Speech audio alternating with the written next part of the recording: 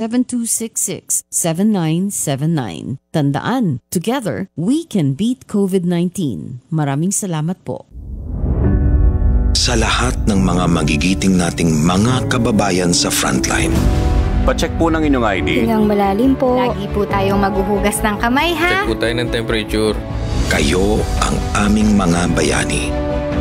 Maraming maraming salamat po sa inyong serbisyo. Lahat kami ay saludo at sumusuporta sa inyo. Atid sa inyo ng PCOO, DOH, KBP at ng himpilang ito. Napakarami na pong paalala ng otoridad sa pangunguna ng Department of Health o DOH upang maiwasan at malaman natin kung paano nga ba ang gagawin kapag nagkaroon ng COVID-19. Ngunit hindi pa rin po lahat ay nakakasunod sa mga paalalang ito. Kaya naman naglunsad ang DOH ng kampanyang Bida Solusyon sa COVID-19. B para sa bawal walang mask. I para sa isanitize ang mga kamay, D para sa dumistansya ng isang metro, at A para sa alamin ang totoong impormasyon. Para sa iba pa pong impormasyon, bisitahin ang Bida Solusyon at DOH official Facebook page. Tandaan, together, we can beat COVID-19. Maraming salamat po. All ready ka na bang harapin ang bagong umaga? Maging handa sa balita at kaalaman tungkol sa buhay at kalusugan. Sa gitna ng COVID crisis, makakasama na nating muli sina Orly Mercado at Cheryl Cosim sa All Ready. Alas 6 hanggang alas 7 na umaga via live streaming sa 1PH Signal Channel 1 at Radyo 5, 92.3 News FM. Transmitting live.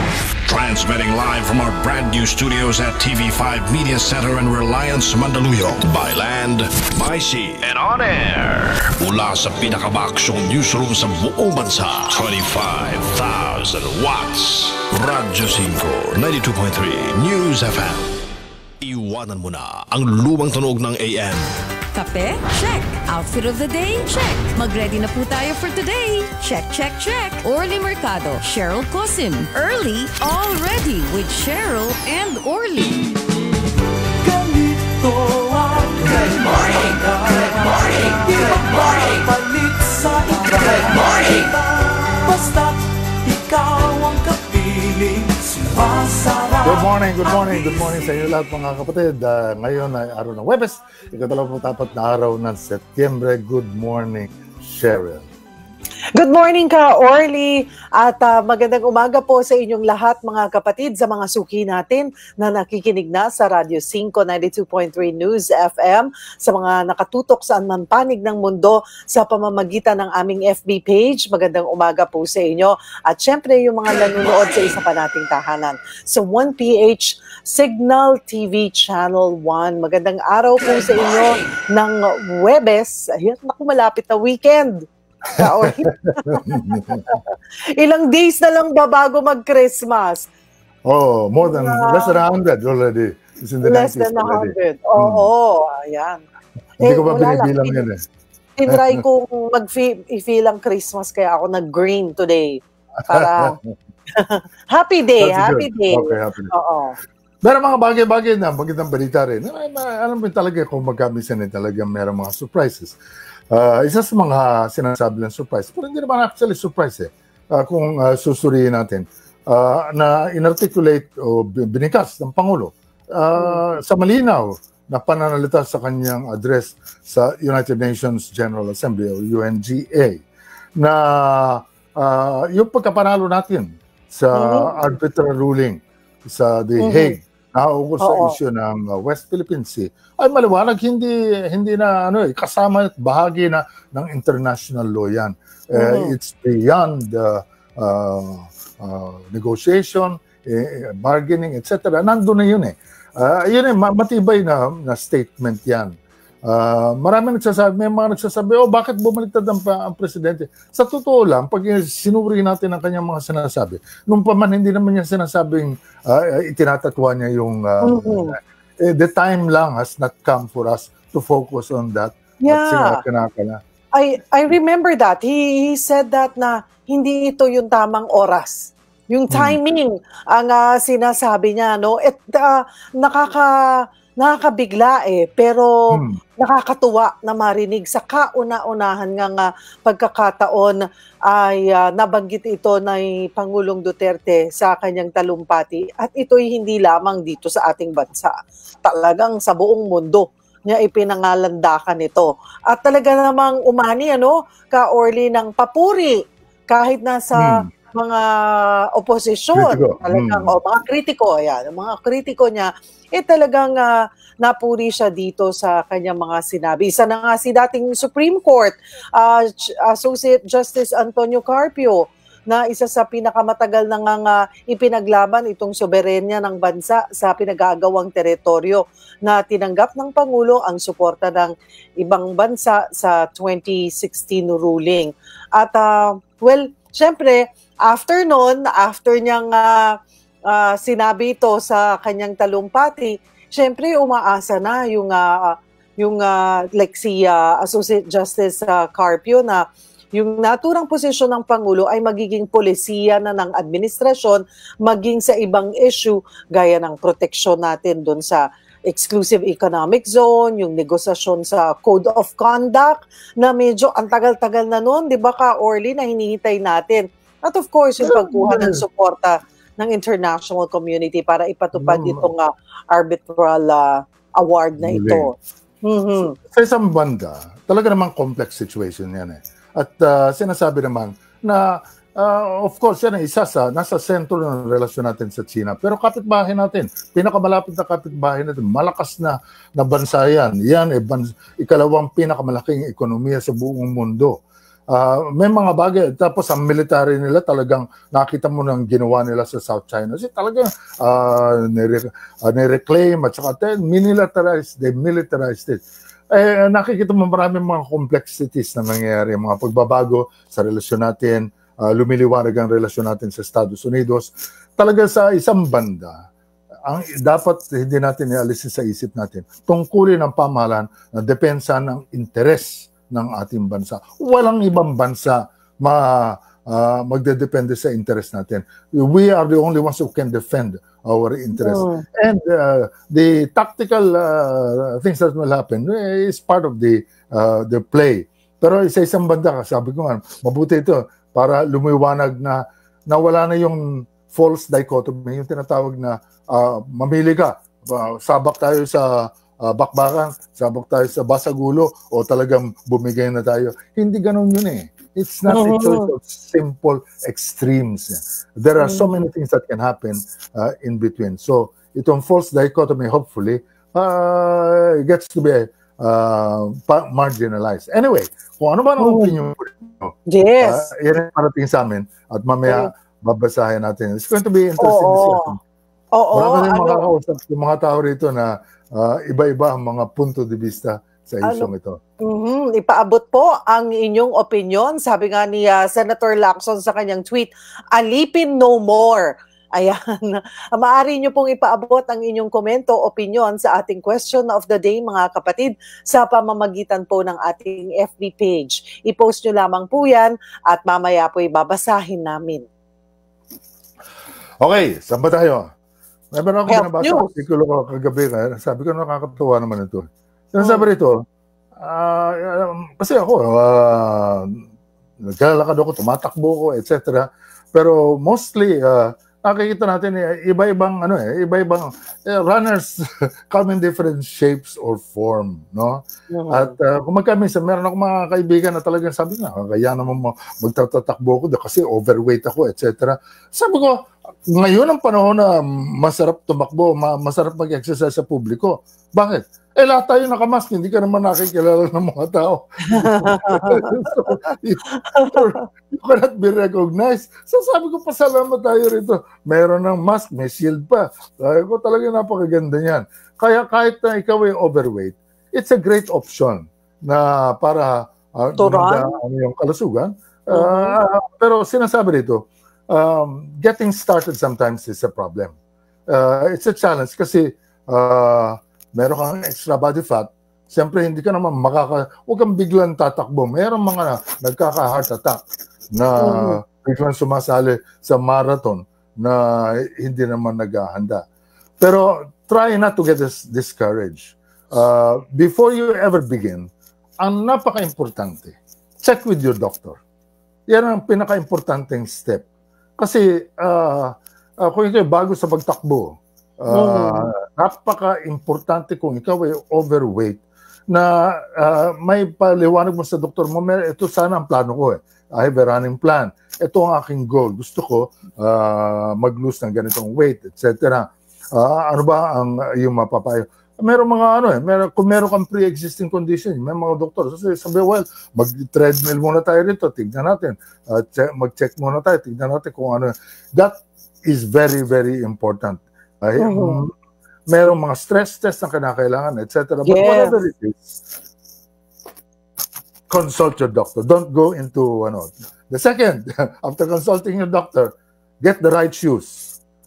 Alam mo, Mahalaga ang shoes. napaka nak- nakatutuwa talaga ngayon eh. Grabe ang uh, teknolohiya ng noong araw ah, ang sneaker eh, sneaker the same. Kaya nagte-tennis ka, eh, naglalakad ka, etc. Tumatakbo ka pare-pare. Ngayon may running shoes, may training shoes, basketball shoes. ah, eh, eh, ano napaka ano eh. Get the right shoes. Ah, sinasabi dito, pag ikaw nakakuha ng maling sapatos for your feet and running, uh, it can cause injuries, discomfort, madi-discourage ka eh. Dahil hindi maganda yung uh, fit sa'yo. Ngayon, meron pa mga memory foam, kung ano ng mga, uh, may mga arch support. Eh, eh, talagang yan yung pinag-aaralan na, may siyensya na yan eh.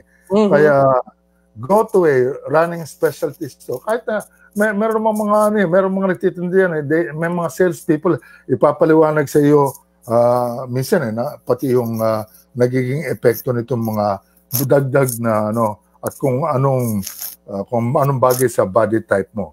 Ah, at ah, sinasabi rito, ah, kung matagal na yung sapatos ba, hindi na hindi na komportable, replace it. Although uh, it depends on how how much you weigh, etc. Meron, you know, you, you might be changing it a, a bit more faster.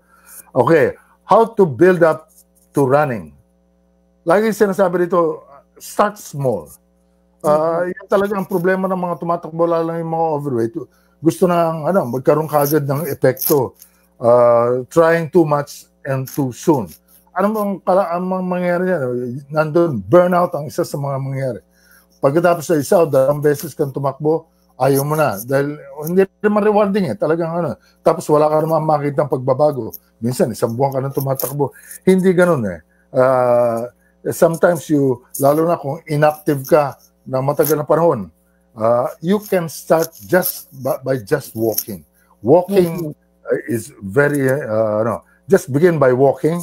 Uh, you can start sa treadmill, you can start uh, around your house, o kaya doon sa park, o ano man. Ang importante, consistency. Do it at the same place, every day, uh, rain or shine. Marami pag mga tumatakbo, sinasabi, anda, muulan ngayon eh, hindi ako magtat... Alam, sa Pilipinas, sa kalahati ng taon muulan. Kalahating taon ka rin hindi tatakbo. Kaya, eh mo, di mag, uh, suot ka ng jacket, mag-hoodie ka. Ah, tapos mamaya, pag, nabasa ka, maligo ka. Yung mga, y- yung mga, pag naghanap ka ng excuse, magkakaroon ka talaga ng excuse at saka titigil ka na. So begin by walking uh, at uh, sinasabi dito, start with just 5 or 10 minutes kung Mhm. yan ang all you can manage. And uh, sinasabi dito, pwede ka mag-switch eh. Magsimula ka sa paglalakad, tapos ng, mga- ng mga uh, isang isang minuto, hinga dalawang minuto, uh, uh, um, tapos takbo, pahinga, uh, uh, yung pahinga eh yung paglalakad. Keep on moving. Kasi Yes. yung uupo ka, ah, para mong pinutol yung ano eh, yung uh, cycle eh. So what is important, uh, try to walk a little bit each day. Uh, para masanay ang katawan mo sa activity and uh, uh, keep it at least uh, for 30 minutes. Then switch to a run walk strategy. Ang sinasabi dito na pag nagkaroon na ng uh, yan, gamay mo na yung paglalakad mabilis, etc. Uh, uh, sabayan mo ngayon yung walking mo, uh, paminsan-minsan tatakbo ka tapos maglalakad ka. Start with your uh, session by warming up. Okay, your 10 minutes brisk walk. Pagkatapos eh, uh, pag ang heart rate mo ay at saka ang dugo mo ay it's flowing already, uh, your muscles are already responding, you can run for one minute and then walk for two minutes. Run one minute, walk for two minutes, and the walk should be, yung walk, eh parang nagpapahinga ka, pero naglalakad ka pa rin. Uh, Not a complete break. Don't walk casually, walk with a purpose. Uh, ang lumalakad na matulin, gustong pumayat. Ang naglalakad na matulin, sabi niya nga, kung matinig kayo malalim, hindi, kinakailang matulin ang ang paglalakad mo, purposive, uh, like a power walk. Yung talagang, uh, Oo, yung kumikembot-kembot ka na sa Oh, sa yeah, yeah. Pwede naman yan. Hindi mo naman kailangang i-push yung sarili mo kaagad kung ah, nang sa pagtakbo. Lalo na kung alam mo ako. Ako, I, ca- I cannot run, ah, Sir Orly. Talagang ano, ah, na hinihingal ako lalo na, well, ngayon kaya ko na. Pero nung nagsisimula ako, I cannot. Talagang sabi ko, hindi ko kaya. Hanggang pag nakakaikot ako na ilang beses, siguro nagsimula kami ng mama ko, ah, mga lima, tapos sampo, naging sampo. Tapos nung pag iniiwan na ako, tapos na yung mama mag-walk, susubukan kong tumakbo ng isang ikot, tapos lakad ulit. Tapos habang mga after several days, ah, dalawang ikot, hanggang nadadagdagan. yeah. Oo. Hindi yung bibiglain mo yung puso mo. Ganon din sa stress test, di ba? Ka-early, pag ginagawa nila. Una, mabagal lang hanggang pabilis ang pabilis. Dahil chine-check nila kung hanggang saan mo pwedeng i-push yung puso mo. Pero wag nyo hong bibiglain. Dahil lahat naman ng runner, ano po, dahil dumaan din po sa ganyan na training. Oo. That's true, that's true. Kaya sinasabi rito, pag umabot ka na ng sa uh, 15 o 20 minutes yan, dapat yan, eh, ma- pag uh, tumitigil ka na, meron ka at least 5 minute cool down. Ano? At later on, you can take it to the uh, next level. Uh, at yan ay, uh, uh, you can build endurance, run and walk. And uh, no. Isa sa mga bagay-bagay, katulad ng binanggit natin kahapon, na at saka itong mga nakaraang araw, yung Mhm. pagpanik sa hagdan Yes, go up, go down, uh, go up, go down. Kasi uh, marami mo. Pag muulan, ay di nandiyan yung hagdan. Indoor, Go up, oo. go down. Indoor, up, uh, and down. So there's no excuse. Pero make it a habit. Pag naging habit, talaga hinahanap ng katawan mo na kung hindi ka pinapawisan para bagang hindi kumpleto ang araw mo. Okay, ang oras natin. ah, ang ating ano, ah, ating ah, Question of the day. Ah, ano ba comment niyo dito sa ah, ah, tila ah, balik, pagbalik mo sa Pangulo, yung sinasabi, ah, nag-focus uli siya doon sa arbitral ruling na ito ay talagang mahalaga sa atin at kinakailangan ng suporta ng iba't ibang mga bansa uh, na ukol dito. Pero hindi naman yan, ah, yan lang ang basehan ng relasyon natin sa China. Pag-usapan natin yan at kung ano man ang inyong opinion, iparating sa amin. Oras natin, labing anim na minuto makalipas ang ika ng umaga, Philippine Standard Time.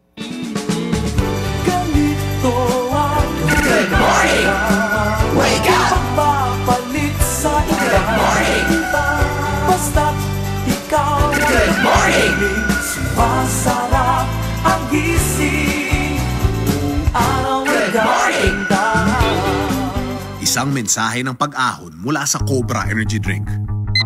Bangon na sa pagkakatulog at pagbagsak ng kabuhayan. Matatalo rin natin ang pagsubok. Simula na ng biyahe, hindi lang ng sasakyan, kundi ng buhay tungo sa pag-ahon. Bukas na, hindi lang bote ng Cobra, pati ang daan tungo sa pangarap.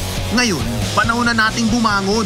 Cobra, number one energy drink. Katuwang mo sa pag-ahon. Angat ang lakas mo. Cobra number one energy drink. Katuwang mo sa pag-ahon. Angat ang lakas mo. Mula sa Hinebra San Miguel, isang ganadong mensahe ng pag-asa, pagkakaisa at pagbangon sa new normal. Tayo'y magkaisa sa One Hinebra Nation. Tara na't bumangon at lumaban sa Luzon, Visayas at Mindanao. Bayanihan ang kailangan natin ngayon. One Hinebra, One Hinebra Nation. Ano man ang hamon, may pag-asa. Sa pagbangon Sama-sama, kakayanin ang pagsubok pang nagkakaisa. Isang lahi, One Nation. Never say die, One Hinebra Nation. Drink responsibly. Just Panginoon, katapusan na po ba ito? Mahabaging Panginoon, kaawaan mo po kami. Ngunit kung ang bayang ito na nagtataglay ng aking karangalan ay nagpakumbaba, manalangin, hanapin ako at talikuran ang kanilang kasamaan. Papakinggan ko sila mula sa langit, patatawarin ko sila sa kanilang mga kasalanan, at muli kong pasasaganayin ang kanilang lupain. 2 Chronicles 7.14 MX3, tagapaghatid ng magandang balita. Inuman na kasama ang tropa. Huwag kalimutan ang kapitan ng inuman. Gin Kapitan. Sarap ng init at hagod na kayang-kayang kapitan. Para sa tropang walang iwanan. Kapit-kapit lang. Gin Kapitan. Kayang-kaya mo yan. Sarap ng init at hagod pag walang iwanan. Kayang-kaya sa Gin Kapitan. Drink responsibly. Early already with Cheryl and Orly sa Radyo 5 at 1PH sa Signal Channel 1. All out sa balita. Impormasyon, serbisyo. Orly Mercado. All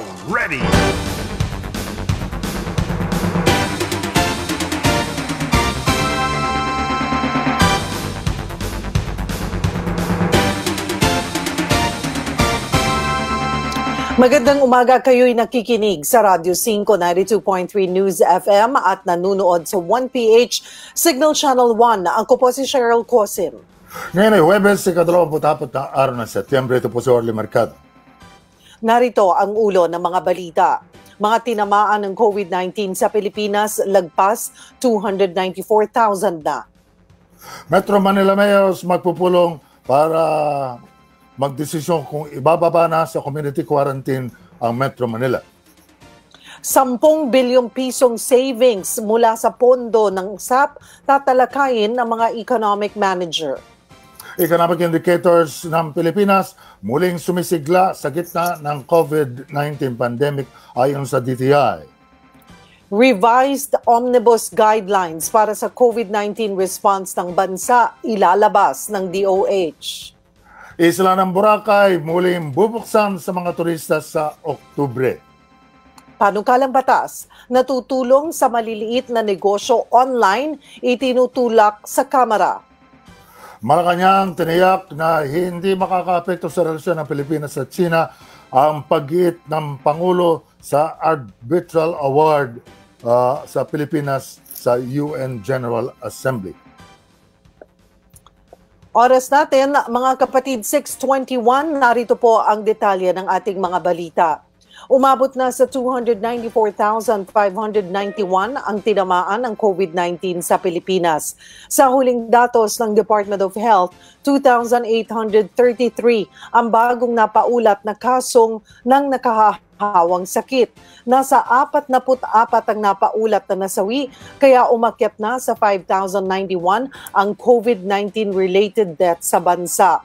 Sumampa naman sa 231,373 ang total recoveries ng COVID-19 sa Pilipinas dahil sa 765 cases na mga bagong gumaling.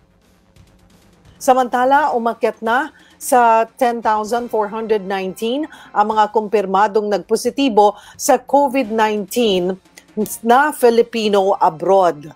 Wala namang bagong gumaling kung kaya 6,629 pa rin ang overseas Filipinos na nakarecover o na-discharge na sa ospital. Anim, anim naman ang napaulat na nasawi kaya 785 na ang COVID-19 related deaths sa mga Filipino abroad. Nakatakdang magpulong ang mga alkalde ng Metro Manila ngayong linggo hinggil sa kanilang magiging rekomendasyon sa kasalukuyang umiiral na community quarantine sa NCR. Ayon kay Metro Manila Council Chairman Edwin Olivares, tatalakay nila sa pulong kung dapat ba na ibaba at o kaya panatilihin pa rin sa general community quarantine ang buong rehiyon. Ayon kay Olivares, ang COVID-19 trend sa National Capital Region ay bumaba na kung saan uh, kaunti na lamang ang naitatalang mga bagong kaso. Sa katunayan, hanya ay pababa ang naitatalang mga kaso sa Paranaque sa nakalipas na tatlong magkakasunod na linggo. Ngunit kung ang naturang alkalde ang uh, tatanungin, mas maganda umano na manatili sa GCQ para mas lalo pang mapigilan ang kaso ng COVID-19. Samantala, samantala tatalakayin rin ng Metro Manila Council kung tatanggalin ang curfew hours na 10 p.m. to 5 a.m.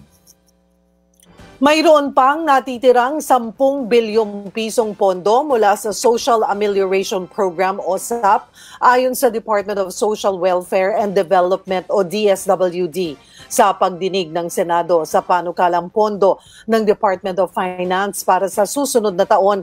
Natanong si DOF Secretary Carlos Dominguez III kung alam ba niya ang savings na ito mula sa SAP. Pinunto ni Senate Minority Leader Franklin Drilon na ang pagkakaroon ng savings ng DSWD mula sa programang magbibigay ng ayuda sa ating mga kababayan ay hindi naka-align sa budget spending policy ng DOF. Tugon ni Dominguez, nagulat din siya sa naturang impormasyon at tatalakayin ito ng economic managers. Muli ring iginiit ang kalihim na hindi tayo dapat nagtitipid para umunlad pagkos. Kailangan anya nating gumastos tungo sa kasaganahan. Inihayag ng Department of Trade and Industry na unti-unti nang bumabalik ang mga indicator sa pagsigala ng ekonomiya. Ito sa gitna ng patuloy na paglaban sa COVID-19 pandemic. Ayon kay Trade Secretary Ramon Lopez, na ngayon marami ng mga lugar sa ating bansa ang nasa maluwag na quarantine restriction ay uh, nakakabango na ang mga sektor ng negosyo. Sa katunayan, mula sa 49% na pagbagsak ng mga export dahil sa pandemya, bumaba ito sa 7% nitong Hulyo. Uh, bumalik na rin anya sa 10% ang uh, unemployment rate noong nakarang dalawang buwan mula sa 17.7 na porsyento bagamat mas mataas ito sa dating 5%. Naniniwala ang kalihim na kung magtutuloy-tuloy ang pagigigpit uh, sa pagsunod sa minimum health standards ay bababa palalo ang transmission ng virus kahit na isa ilalim sa MGCQ ang ating bansa. Magpapalabas ang Department of Health ng revised omnibus guidelines para sa coronavirus disease 2019 testing, detection, isolation at pangangasiwa ng quarantine. Ayon kay Health Undersecretary Maria Rosario Vergere, ito ay sa oras na lumabas na ang resulta ng isasagawang pilot run ng antigen test matapos aprobahan ng Interagency Task Force o IATF ang pilot run para sa nabanggit na COVID-19 test kit. Una nang sinabi ni Vergere na wala pang available na rapid test kit sa Pilipinas na umaabot sa 80% ang sensitivity level. Batay sa United States Center for Disease Control, isinasagawa ang rapid antigen test sa pamamagitan ng pagsalang sa rapid test kit ng kinuhang uh, nasopharyngeal o nasal swab specimen na hinaluan ng extraction buffer o reagent.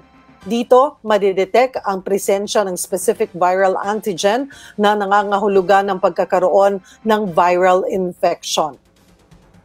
Bubuksan na para sa mga turista ang isla ng Boracay sa susunod na buwan. Makarang isara ito dahil sa banta ng COVID-19 pandemic.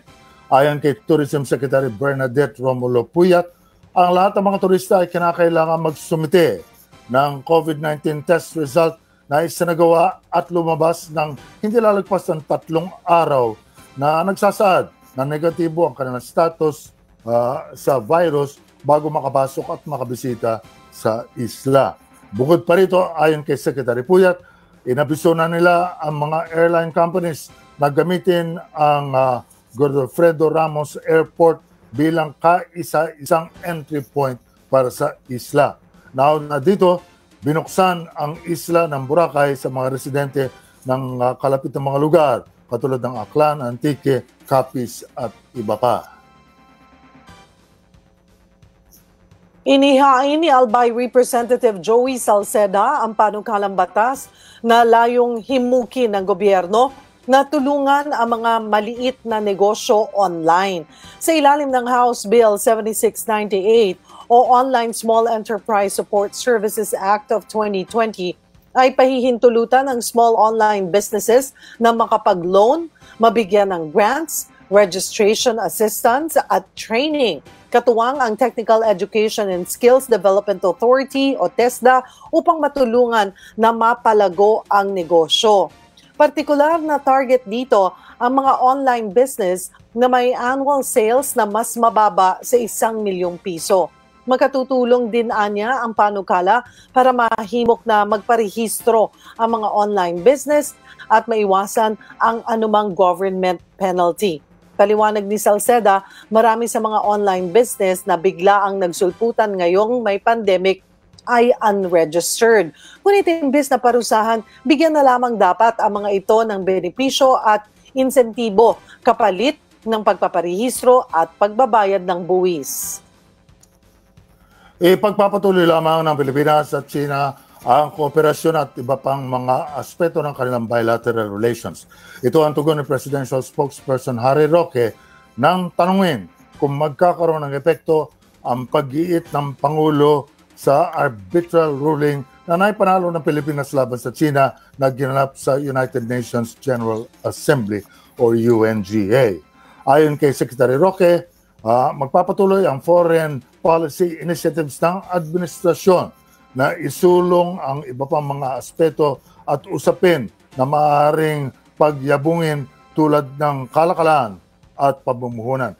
Binigyan din ng kaluhim na ang relasyon ng dalawang bansa ay hindi naman limitado lamang sa usapin ng territorial dispute. At yan ang kabuuan ng ating mga balita sa umagang ito. Ano ba tayong report? Of the day. Question oh, of the day question of the day natin ay tungkol dito nga sa relasyon natin sa China. Anong masasabi niyo sa tila uh, pagkambyo ng Pangulo uh, sa kanyang pag-iit na tayo ay nanalo, nanalo Pilipinas doon sa arbitral ruling laban sa China kaugnay ng issue ng West Philippine Sea. Ano ba ang inyong opinion? Iparating sa amin. Oras natin ay 30 minuto makalipas ang ikanim ng umaga, Philippine Standard Time. Good morning! Di magpapalit sa Good morning! Good morning! Basta't ikaw ang kapiling Good morning!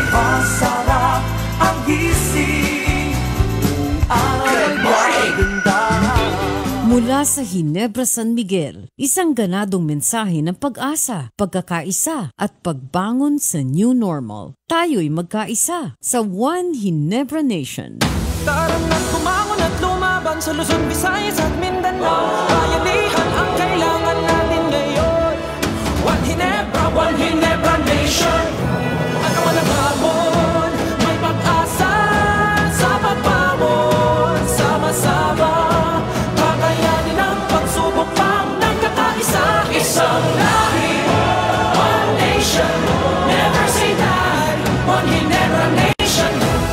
responsibly. Ang oras, 6.31. Ang oras sa Radyo 5 ay hatid sa inyo ng Hinebra San Miguel. Lahat tayo'y magkaisa bilang One Hinebra Nation. Because your health means everything. Drink organic as a year. It's not just a drink, it's a lifestyle. Organic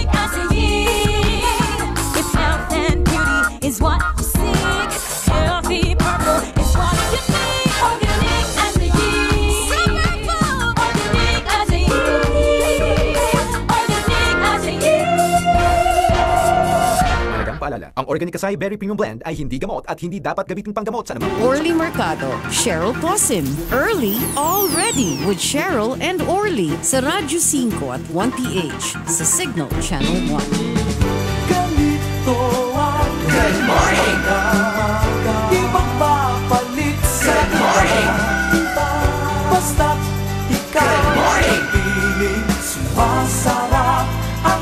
Oras natin mga kapatid, 6.33. Isa po sa nabanggit sa talumpati ni Pangulong Rodrigo Duterte sa United Nations General Assembly ang ah, gumagamit sa issue ng human rights para siraan ang kanyang administrasyon.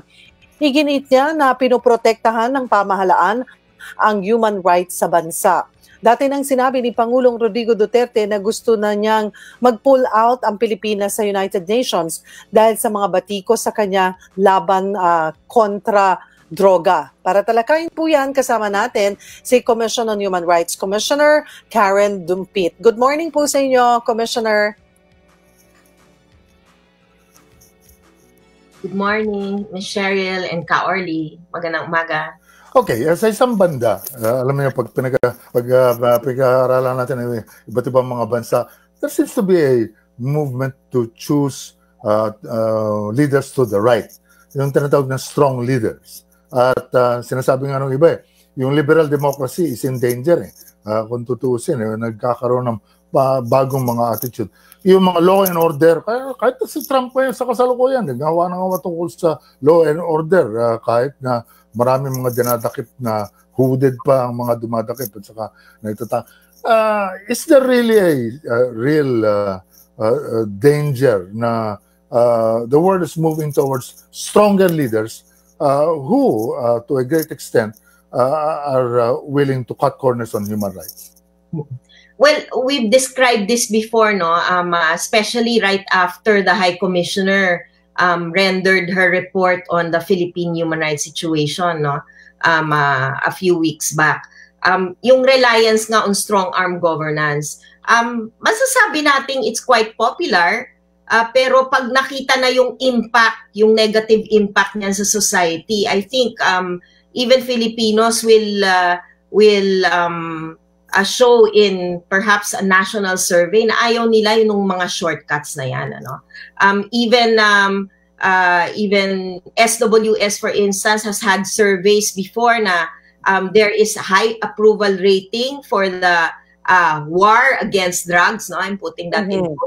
Pero pag tinanong mo sila kung uh, gusto nila na um, nangangamatay ang mga suspects, ang sinasabi sa survey is um, a higher percentage would really want suspects to be to be arrested and to be um, brought to justice, not necessarily to be killed no in the field. Hmm. So kung titingnan po natin, yung iginigit nga po ni Pangulong Duterte na naninindigan po siya sa na napoprotektahan ng pamahalaang ito uh, ang human rights po sa Pilipinas um, ano po ang reaction nyo on this and yung assessment talaga na ano saan saan ba um, na-violate yung human rights uh, during this administration? Uh, well, it's evident naman ano. Um, uh, uh, let's look at the facts on the ground. Maraming uh, deaths have followed. Many mm. thousands of deaths have followed uh, the campaign against drugs.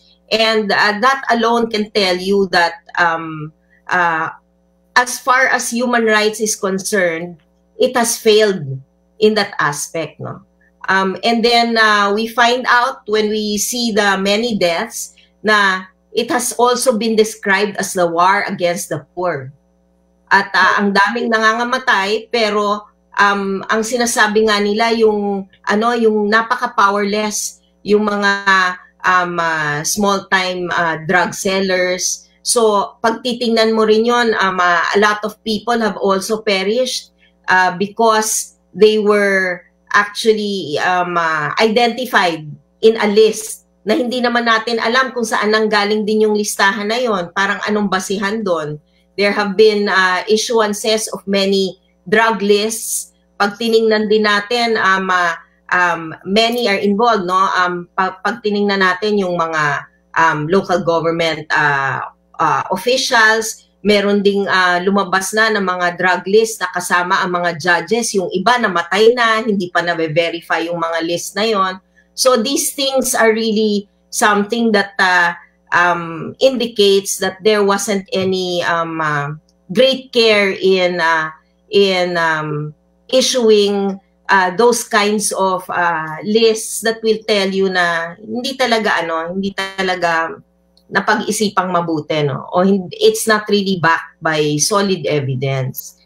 Um, and, and then you see also um, high profile uh, uh, drug personalities that have you know have gotten away with it. or at least hindi napapansin ng ating gobyerno. No? Ano masasabi niyo sa sinasabi ng Pangulo na uh, merong mga gumagamit ng uh, human rights uh, issue uh, laban sa gobyerno pero ang uh, ginagawa yan, nagre-recruit uh, ng mga kalaban ng pamahalaan at uh, yan ang nagiging front nila. Um, uh, ang sinasabi naman namin, ano, uh, it's part of legitimate dissent to be able to criticize government, to be able to express their dismay, disappointment in uh, many uh, programs of government. Uh, ang pagpapahayag ng uh, uh, kritisismo ay ay parte ng ating demokrasya. Kailangang irespeto yon. Katulad nga ng sinabi ko um, uh, many times in many interviews, no, paano malalaman ng gobyerno kung ano ang uh, kulang kung hindi magsasalita ang mga tao, kung hindi magrereklamo ang mga tao. So in the same manner, um, sinasabi natin eh, paano malalaman ng ating gobyerno kung gutom ang tao, kung hindi pwedeng, um, uh, kung hindi natin hahayaan na may karapatan silang magsalita na sila'y gutom. So it has to be there, no? Um, uh, that's part of any democracy. Dissent is part of any democracy. Okay. Pero uh, sa isang banda, uh, hindi naman kayo nag-advocate na itigil ang uh, uh, pakikipaglaban uh, ng gobyerno laban sa droga. Of course, um, uh, sabi nga namin no, even even yung tanong nga na sumusuporta ba kayo sa kampanya laban sa kriminalidad? Siyempre, kasama kami doon, mm-hmm. no? Part of uh, the state apparatus, 'di ba? Pero independyente kami monitor kami ng uh, ng gobyerno at sinasabi namin kung anong sobra at kulang uh, tungkol doon. At ang sinasabi nga namin is that uh, yung strong arm approach, hindi yan ang solution dyan. It has to be a multidisciplinary hmm. approach. It has to be human-centered. Hindi yung namimili na law-abiding lang ang ang pro-protektahan ang uh, ang buhay, no? It's everyone. That's the first order of the day to protect the lives of everyone even during police operations. Gusto ba natin na makita na every time uh, nagsasagawa uh, ng operasyon ng police may nangangamatay? Eh sus- suspects pa lang 'yan eh. 'Di ba? Uh, so so 'yun ang importante. But um let it be said na pagka may ginawang um, uh, uh, kasalanan, pag ito ay krimen, uh, kami po ay naniniwala na kailangang maparusahan ito pero sa tamang paraan, sa paraan mm-hmm due process at saka rule of law. Hindi po pwede yung shortcuts po. Maraming salamat, Commissioner Karen Lubit ng uh, Commission on Human Rights. Thank you very much. Thank you. Magandang umaga po. Good morning. All 4.47 minuto makalipas ang ika ng umaga, Philippine Standard Time. Mm-hmm. At ngayon naman, pag-usapan natin yung ating uh, question of the day, Ka Orly. Ano? Naging matapang nga sa kauna-unahang pahayag ni Pangulong Rodrigo Duterte sa United Nations General Assembly at uh, pagkambyo ng Pangulo, hindi raw niya hahayaan ng Pilipinas na mabaliwala ang 2016 Arbitral Award na nagsasabing walang basihan ang nine-dash line claim ng China at mali ang pagsakop nito sa exclusive economic zone ng Pilipinas.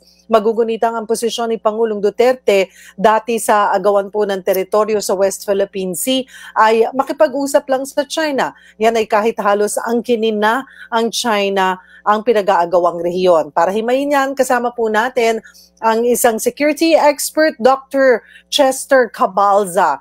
Good morning po sa inyo, Doc Cabalza. Cheryl and Ka Orly. Good morning. Hello. Ayun. Good morning, sir. Yes, sir. I'm I'm good. Yeah. Um. Well. Um. Uh, yesterday, no, uh, it was really a, a good day for the Philippines. Uh, for the first time, narinig natin ang uh, perfect pitch ng ating presidente, kumbaga do. At uh, na yung gusto nating marinig noong 20, uh, 2016, narinig natin ngayon. Uh, definitely, he raised bar when it comes to uh, the Hague ruling unang-una, uh, dami niyang binanggit yung sa Hague ruling, yung sa migration, terrorism, uh, tapos uh, climate change, and ultimately the of the of the uh, speech was the call for multilateralism. Kasi alam natin naman nung una medyo kumakampi siya sa bilateralism ng uh, China dahil uh, tingin niya yun ang uh, higit na makakatulong sa atin para makaiwas tayo sa gera o sa any form of conflict But uh, uh, as we saw uh, with turn of events, uh, bago nag-pandemic at nagkaroon ng pandemic, mukhang matigas talaga si China at uh, talagang uh, kahit na meron tayong pandemya, tuloy tuloy-tuloy pa rin yung kanilang uh, pagsakop sa South China Sea uh, vis-a-vis with the West Philippine Sea. At uh, nakita ng ating uh, gobyerno na hindi talaga ito ang uh, ang ang, ang intensyon natin sa pakikipagkaibigan sa China. At uh, pinaalalahanan natin ng China na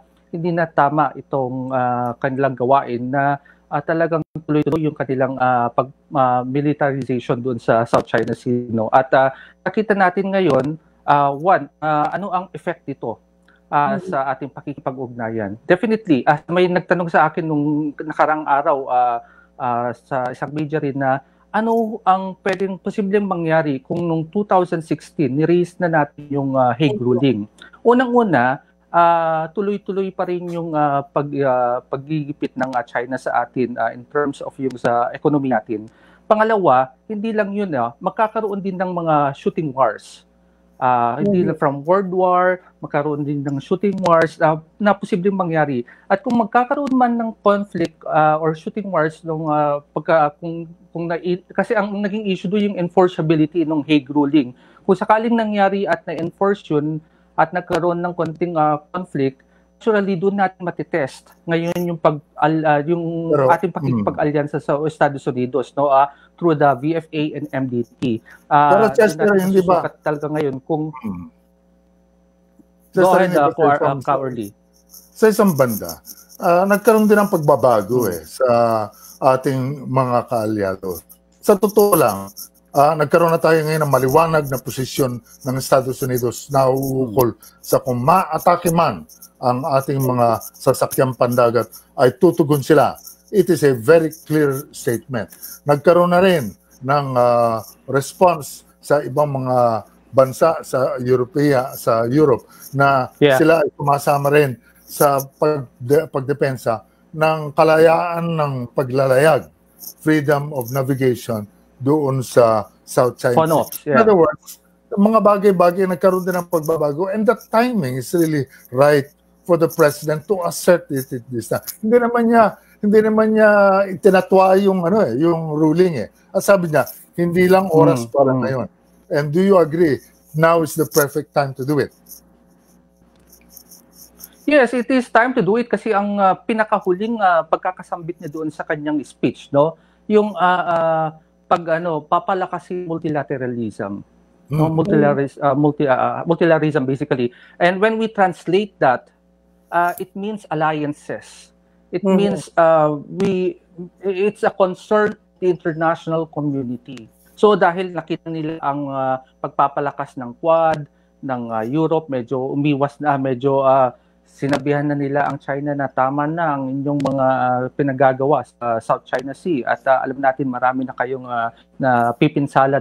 I think that is a, a big call at yung yung bigat ng sinabi ng presidente natin na uh, nung uh, araw, uh, yun din yung translation noon. Uh, and it, it received um, uh, a good reception not only um, uh, from from from, mm-hmm. from our neighbors but also with other actors like the US and Europe na sila talagang uh, uh, uh, nagka-counter sa puwersa ng uh, China and I think that was the cue that uh, these actors were waiting from our president. Kasi 2016 na antay na tayo eh. What will what what shall the Philippines do? Basically in 2016 eh nagpivot tayo. Iniba natin yung strategiya natin because we were trying to de-escalate the uh, conflict. And basically we thought that by befriending China uh, that could uh, help us in a way uh, lessen China's uh, wrath uh, with the Philippines no at uh, matingin natin na baka hindi nila i-occupy yung Scarborough Shoal at yung mga pa. ibang hmm. features hmm. doon sa West Philippines eh, baka bumait pa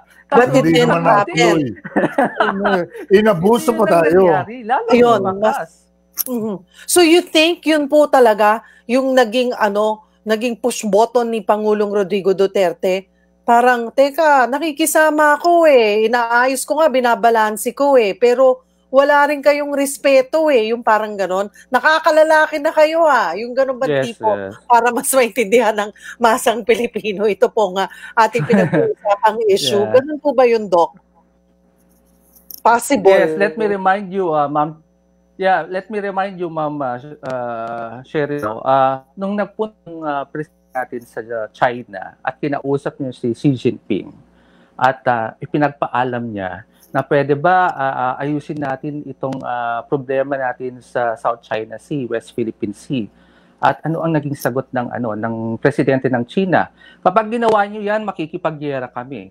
May natakot yung ating presidente at ang sabi niya, one day I will invoke the arbitral ruling. And Mhm. that was yesterday.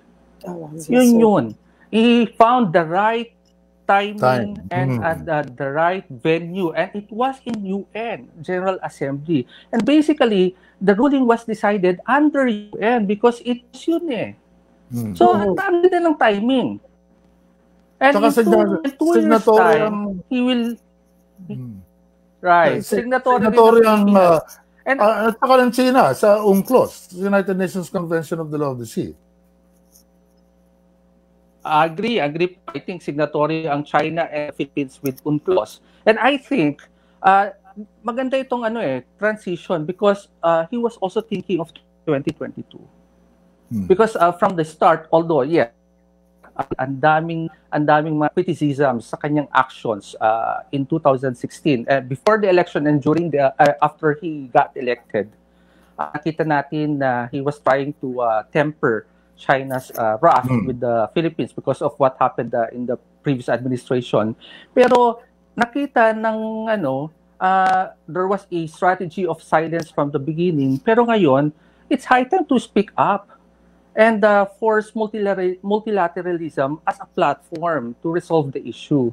And I think uh, that has also a connection to the 2022 uh, elections because he will bid from uh, office. And definitely whoever will take place uh, his position. We have to continue that. Tatu- Totoo rin naman yung sinasabi totoo naman yung sinasabi nun sa, sa, sa of course sa AFP strategy and uh, sa national uh, security strategy natin. And also uh, with the blessing and pronouncement of the president na hindi naman nila pinapabayaan yung uh, Hague ruling. Siguro nag-antay talaga sila ng right timing. And I think yesterday was the right time to do it. Okay. Uh, Um, uh, Doc Cabalza, after that, after yung Hmm. uh, matapang na pahayag, ano dapat yung mga Hmm. susunod nating aksyon? Hindi naman pwedeng Okay. pananalita lang. Right.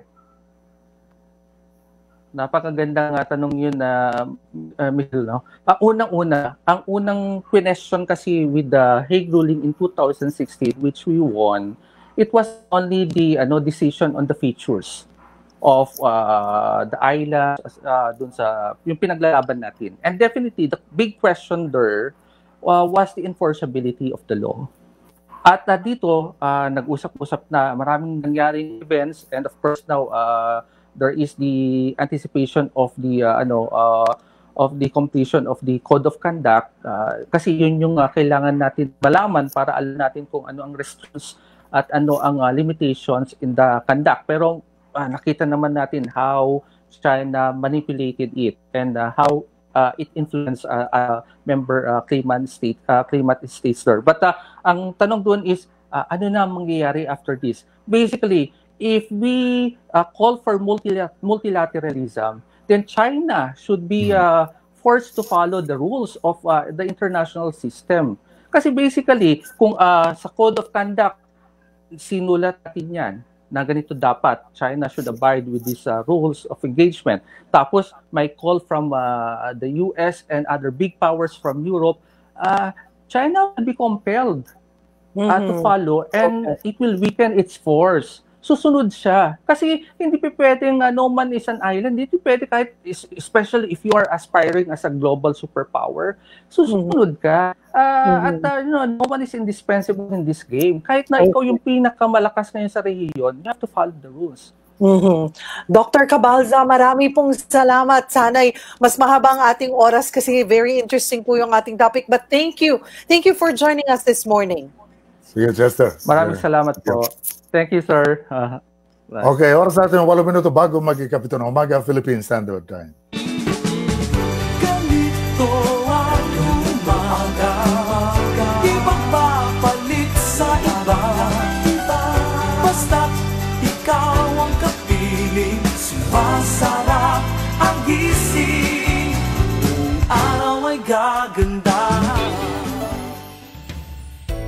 Good news! Ang pinagkakatiwalaan yung MXC capsule tested and proven na may alpha, beta at gamma nutrients.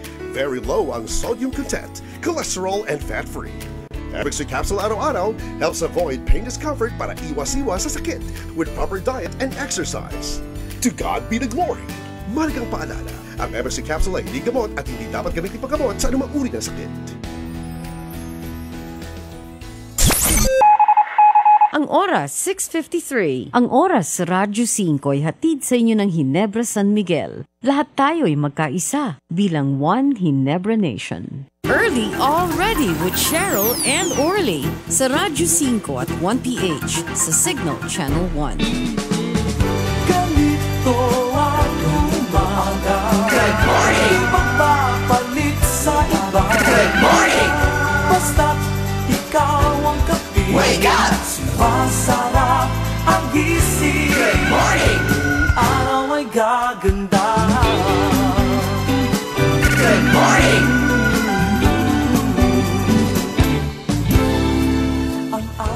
Nagbabalik po ang programang Early Already, hindi pa raw napapanahon para ilagay sa Modified General Community Quarantine ng Metro Manila ayon po sa UP experts. Ito'y makaraang sabihin ng Department of Trade and Industry na pwede nang ilagay ang NCR at ilang panglalawigan sa MGCQ. Kasabay niya napipinto na ring magbukas ang turismo sa Bohol at Boracay para sa mga nasa GCQ at MGCQ areas.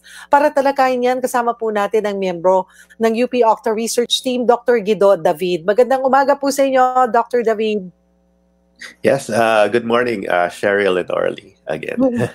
Pwede po bang ano, pag-reactin muna na ko kayo dito po sa lumabas na report ng The Lancet na lumalabas po kasi out of the 91 countries, pang 66 ang Pilipinas pagdating po sa COVID-19 response. So nandun pa lang tayo sa moderate.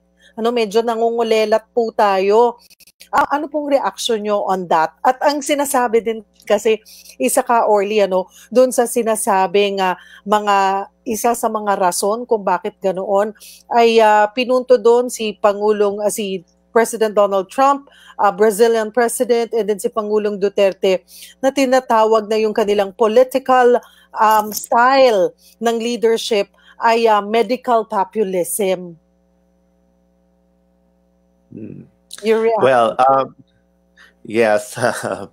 I haven't actually read yung report na yan. So, uh, hindi ko uh, masasabi kung ano yung um, assessment nila kasi may kanya-kanyang evaluation methods naman on how you would rank yung uh, response.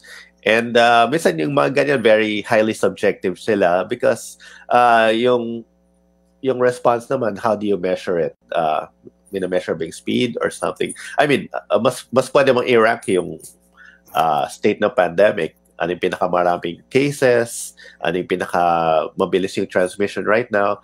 Pero yung uh, response, I think it's it's, it's kind of subjective. Uh, uh, definitely, uh, offhand, may mga countries na yung masasabing mas magandang response. Uh, like for example, yung mga some of our neighbors like Taiwan and South Korea, uh, uh, they have a better response siguro. They were more scaled up sa testing initially.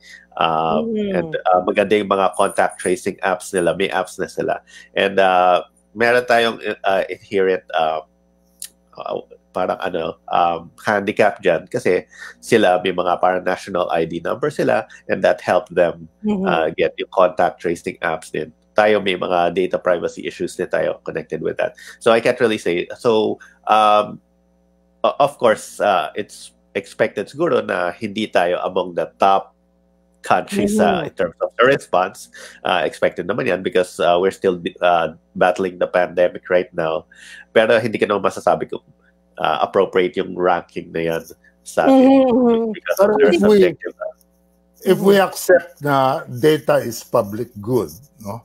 and that uh, from the data that you have sa inyo, sa UP, ay ano ba ang inyong may papayo? Dapat na ba tayo magluwag? Kasi meron mga bansa na katulad ng uh, ng uh, UK, uh, yan ang dinidebate nila dahil nagluwag sila, ngayon maghihigpit na naman. Uh, gayon din sa Espanya, sa yes, iba pa mga bansa na uh, akala nila okay na pero ngayon ano, uh, where should we be? Saan ba tayo dapat pumirmes at uh, uh, magposisyon? Ah, yes, Orly. Uh, ta- tama yan. Actually, yung mga ibang countries na nagluluwag, um, yun nga, bumabalik sila sa ano sa stricter quarantine. Mm. So, yes, uh, so hindi yan yung gusto nating iwasan. Ayaw naman natin pabalik-balik. Medyo naka, ano na rin eh, na- nakasakit na rin ang ulo pag, pag pabalik-balik or ano, minsan nako-confuse din yung mga tao. Um, yung ano, based on data, of course, um, gumaganda na talaga yung trend sa NCR. Bumababa yung cases. We've seen one month of decline na ng pababa ng cases. Uh, pero at the same time, medyo marami pa rin yung caseload natin. Uh, but all indicators are good. Uh, pati positivity rate natin, ha, mga nasa 9% na before. Na, double doon eh. Almost mga 19%.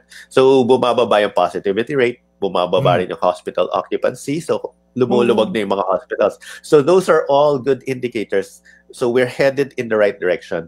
Pero sa NCR yan, sa Calabarzon right now, hindi pa gano'n ka ganda yung mga indicators. So, um, may danger kasi dyan na ma-affect din tayo ng Calabarzon. So I think we have to also look at yung Calabarzon and yung Bulacan because um, kahit maging okay na dito, baka mamaya Mhm. yung yung surging cases sa Calabarzon will affect yung people sa Metro Manila. Yes. Lalo na medyo porous yung borders natin. Hindi Mm. naman na check yung mga people going in and out. So, uh, yung ano, ang ano lang namin, recommendation natin, kung mag, ah, dapat may set guidelines yung IATF kung kailan magluluwag. Hindi naman dahil ganito or dahil ganito pwede na mag-loosen the restrictions. It should be depend really on uh, set guidelines and kung na-meet natin yung guidelines niya. So, kumaga, uh, World Health Organization may may guidelines sila for losing uh, restrictions. So, parang mga one month of decline.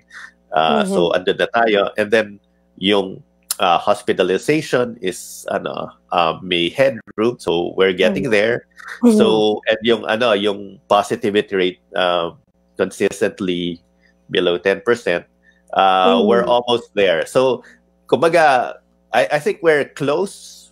We might be close pero ano um, as of uh, October 1 uh, we would suggest na baka ano um, i-hold off muna yung pagluwag. Pero I think ano we're ano Mm. we're we're starting to really uh, become okay sa NCR. Pero yun nga, yung Mhm. Calabarzon is ano, uh, magiging parang uh, So- it, could be a problem for NCR. So parang sinasa- ang sinasabi po natin, Dr. David, ay yes, papunta na tayo doon, pero no, wag muna tayo magmadali na mag-MGCQ. Parang, tingnan muna pa natin, konti pa, stretch pa natin, extend pa natin ng kaunti. Bak kasi mas magiging maganda ang epekto ng ah, a little more extension ah, in the future. Ganun po yon. Yes, exactly. Konting tiis na lang. Kasi uh, mag-October na, tapos you know, I mean, sunod na buwan, November na eh. So ayaw naman natin na biglang nagkaka-surge tayo mga around November. Pero kung October, parang na-continue natin, tapos November, konti na talaga. Di baka talagang pwede na Happy tayo na December. uh, yes, oh, baka mas, pwede na tayo mag-MGC kino November, December. Di, Diba? mas, mas sulit yun, di ba? Doon, doon tayo MGCQ. Pwedeng ano no, Dr. David na parang ito'y isang regalo na inaasam-asam mo pagdating ng Pasko na mas masarap buksan pag mas malapit na yung yung ano, yung occasion. Pero yung Yeah. turismo, turismo natin bubukan na rin. Ah, nakita po natin ang Boracay, nariyan na, I think Bohol ay sinasama. Ang Baguio, sabi ko nga eh, kung titignan mo dito sa NCR ka, Orly, October 1 daw kasi pwede na eh, mga taga Metro Manila sa Boracay.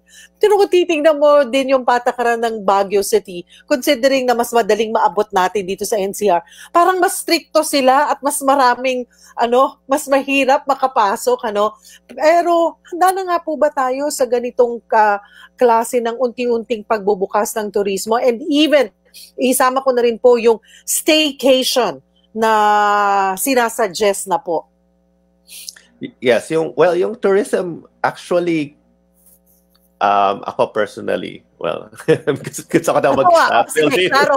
Personally, ayan, o sige. uh, par- parang uh, um, uh, I, I think ano, kailangan lang may set guidelines tayo na sinusunod kung mag-open tayo ng tourism. I, I think um uh, ako personally uh, yung I mean, not as part of the group, pero my personal opinion is, um, yung, especially mga land travel, pupunta kayo sa isang resort, uh, basta we observe certain protocols na hindi tayo overcrowding, ganon. Especially mga resorts, uh, mostly outdoors naman eh. Uh, that the, I mean, titignan natin ano yung mga events leading to um, transmissions. Tapos ano yung mga hindi naman gano'n ka-risk as long as we, uh, gano'n ka-risky, as long as we follow protocols. So, kunyari, nasa beach, tapos hindi naman masyadong dikit-dikit yung mga tao. Uh, That's Sige po. fine. seems to Thank be you very okay. much. Right? Oo. Dr. Villa, ako naman personally, I believe in delayed gratification. Siguro Oo. let's delay and then enjoy. Thank you very much for Thank uh, you. giving us time. Thank, thank Okay, you so atin much. natin ang ating mga uh, viewers na nagbigay ng kanilang mga opinion, uh, Cheryl. Opo, si ah, Joseph Season Lipata, sa totoo lang, nabigla din ako sa naging pahayag ni Pangulong Duterte sa UN pero kailangan may gawa, hindi lang salita. Dapat ipaglaban natin ang mga teritoryo ng Pilipinas, hindi dapat tayo matakot sa China. Noel Reales Tejada, sabi niya, katungkulan niya bilang Pangulo ng Pilipinas sa ipaglaban ng soberenya ng bansa, nakasadyang sa saligang batas, kawawa ang mga mangingisdang Pinoy. Sa halip na tayo ay makinabang sa sarili nating teritoryo, ay walang karapatan tayo at walang kikinabang. Si Tito Arevalo, saludo ako kay Pangulong Duterte. Tama lang ang ginawa niya. Ipaglaban natin kung ano ang para sa atin. Ilang taon nang kinukubkob ng China ang exclusive economic zone ng Pilipinas. Panahon na para sa ating karapatan. Maraming bansa ang sumusuporta sa Pilipinas sa laban nito sa pang-aagaw ng China sa ating teritoryo. Miguel Lopez ang sabi niya nakapagtataka kung bakit biglang nagbago ang ihip ng hangin. Umaasa ko na totoo ang kanyang naging pahayag. Huwag lamang basta salita. Sana nasa puso niya ito ang paninindigan niya at pahayag niya sa harap ng mga leader ng iba't ibang bansa. Mabuhay ang Pilipinas! At mabuhay! Natapos na po natin ang Webes. Ayan, nakaisang oras na naman tayo ka, Orly. Pero huwag kayong mawawala. Weekend na po, biyernes na bukas. At ah, magkita-kita tayo muli. At mamaya po, perfect morning, pag-usapan natin ang ah, Syndrome X o Metabolic Syndrome. Katuwang po natin ang MX3. Ano ba ang dahilan ng pagkakaroon ng Metabolic Syndrome? Ito po yung ano, ka, Orly, yung matataba, yung, yung malalaking tiyan. Ayan, para mapaliit, 'di ba? Dahil hindi Okay. lamang po yung panlabas na anyo na malaki ang tiyan nyo. Meron po yung epekto sa inyong kalusugan. So yan po ang tututukan natin mamaya alas 10 ng umaga dito po sa Radio 5. Again, thank you for joining us. Ako po si Cheryl Cosip.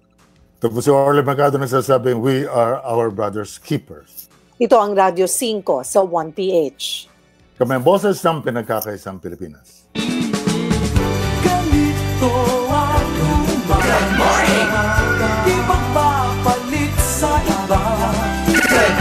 Basta't ikaw ang kapiling Good morning! Masarap ang gising Good morning! Araw ay gaganda All ready ka na ba para sa isa na namang araw? Orly Mercado, Cheryl Cosim, Early, All Ready with Cheryl and Orly sa Radyo 5 at 1PH sa Signal Channel 1. Because you're helping